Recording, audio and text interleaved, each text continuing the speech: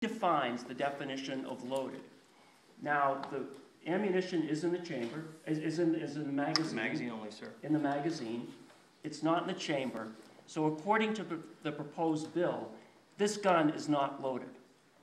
Now, if you could show how quickly it takes to get the ammunition into the chamber. That's how quickly it takes to get the ammunition into the chamber. Could we repeat that demonstration, please?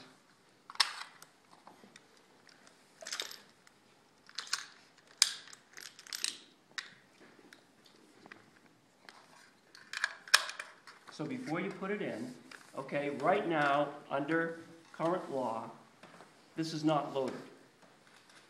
Okay, this is not loaded. Now, if you could put the magazine in, the proposed bill redefines the current statute as to suggesting that the rifle is now not loaded until the bullet goes in the chamber. And again, if you could demonstrate how quickly it takes to get the bullet from the magazine into the chamber. It is an absurd bill with an absurd redefinition of what a rifle is as being loaded versus unloaded. Thank you very much.